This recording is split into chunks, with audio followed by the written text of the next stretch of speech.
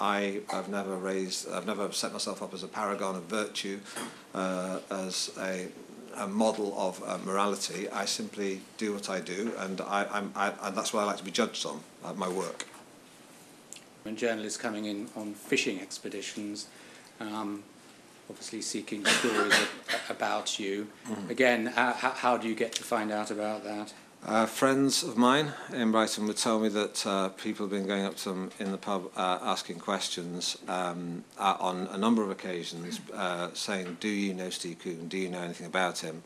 Um, uh, and this would happen frequently. And on one occasion, one of my friends sort of pushed the guy, and he said, "I'm from."